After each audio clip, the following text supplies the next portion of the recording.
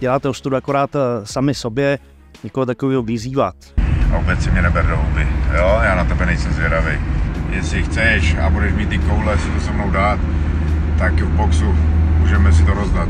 Ako sa toto začalo? No asi ste zachytili, že na scéne Bizaru to v poslednom období žije viacerými kauzami, ktoré sa nasčítali a vyústilo to aj do straty veľkých sponzorov. K tomuto dianiu sa vyjadrili aj viaceré osobnosti domácej bojovej scény, vrátane tých, ktorí Bizaru nefandia. Do tejto skupiny sa radí aj Patrick Kincel. Súčasný šampión Octagonu vo svojom novom videu rozoberal nedávny turnaj UFC či svoj oznámený titulový zápas s Engizekom, no priestor venoval tiež dianiu okolo Bizaru. Kincel sa pritom všeobecne netají tým, že rozhodne nie je jeho fanúšikom. Já se obecně k tomu nevyjadřuju, ale teď, když jsou dole, tak proč si do nich nekopnout?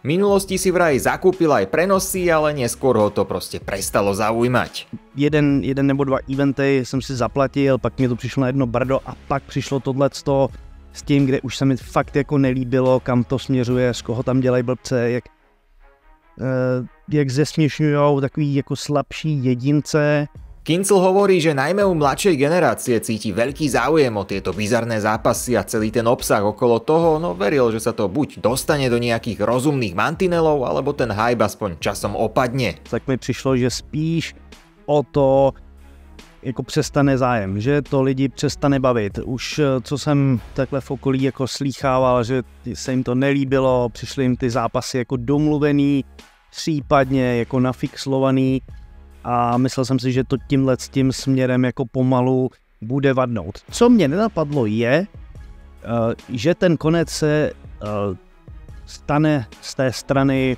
od zápasníků. Na druhou stranu z toho nejsem jako překvapený, přece jenom to jsou většina z nich eh, dost, jak to říct, troubové, troubové je takový hodný slovo, takže se vlastně nedivím, jak to dopadá. Ďalej hovoril o tom, že až na pár výnimiek tam jednoducho nie sú ľudia, ktorí by mali veľa spoločného s bojovými športmi. Valná většina z nich prostě nejsou jako sportovci, nepřipravují se na to, jak systematicky berou to jenom nějaký, nějak, jako nějaký další promo, reklamu na, na jejich osobu, nějaký zviditelnění, ale s čistým bojovým sportem, ani tomu nebudu říkat MMA, ale s bojovými sportama to ve většině nemá co společného až jasně na pár světlých výjimek. Ako výnimku vníma Carlosa Bendu a pri ňom práve nechápe, prečo ho vyzývajú profesionáli. Což jsem teď vlastně taky zaregistroval. Eh, Carlos Benda, jeden, je možná fakt jako jediný normální eh, borec v této organizaci, tak si solidně teď maže na chleba eh, bývalé profíky z MMA, který ho neustále vyzývají. Eh, nerozumím tomu, nerozumím tomu, proč má někdo tendenci z profesionální scény vyzývat prostě amatéry. Kincel tvrdí, že rozumie, ak sa zápasník rozhodol nepokračovať v profi kariére, či už narazil na svoj strop, alebo na to proste nemá podmienky, nech už je ten dôvod akýkoľvek, ale v takom prípade by si podľa neho mali aj tak vyberať títo bojovníci podobných súperov.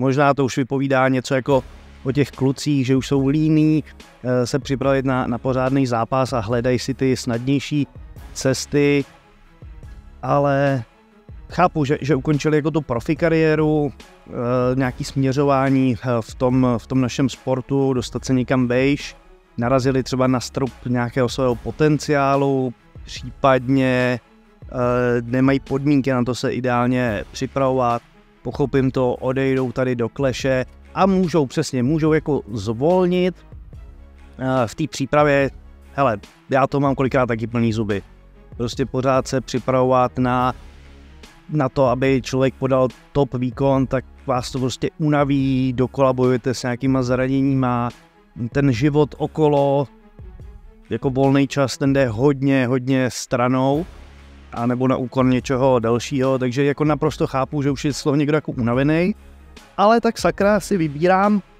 přesně ty borce, který mají podobné zkušenosti, uh, jdou tam ze stejného důvodu jako já a s nima si to jako rozdávám a s nima si to tak nějak jako, pinkám a ne, že tady budu tyjo, vyzývat kluka, co tyjo, koliká to je, osmička teď Clash, to znamená, ten, ten začal tyjo, s jedničkou poprvé, se možná dostal do fighterského gymu, začal trénovat, postupně jde nahoru, ale tak jako po osmi eventech, to znamená, jestli tady běží tři roky, po třech letech, jako nenatrénujete nic, děláte ostudu akorát eh, sami sobě, někoho takového vyzývat. Ale říkám, je to čistě můj názor, pitlikujte si to tam, jak chcete, Kincel síce vo svojom podcaste nikoho nemenoval, ale jeho slova si zjavne všimol Alex Cverna a ten odpovedal na Kinclov podcast. Cverna sa totiž podobne ako zo pár ďalších zápasníkov s profi skúsenosťami spomínal v súvislosti s bandom, s ktorým si už vymenil odkazy a tieto slova Kincla si Cverminátor zrejme vzal osobne. Cverna tvrdí, že ohľadom bandu je to inak, no a mimo iného šampióna OKTAGONu vyzval na súboj v boxe. Tu je reakcia Cvernu. Takže Patriku, tak vidím, že když je Carlos Benda ten nejnormálnější kok na světě, jak si ho označil, tak eh, si můžeš zaplatit s ním pokoj a jít s ním bydlet. Jo, takže když to takhle bereš a nikdo nevyzýval, on řekl, že za dva roky si to se mnou dá, takže asi nevíš podstatu věci a nevíš, co se děje. Ty se starej hlavně o ten svůj pás, ať dokážeš obhajovat co nejdíl. Jo, takže na mě se vyser a vůbec si mě neber do huby.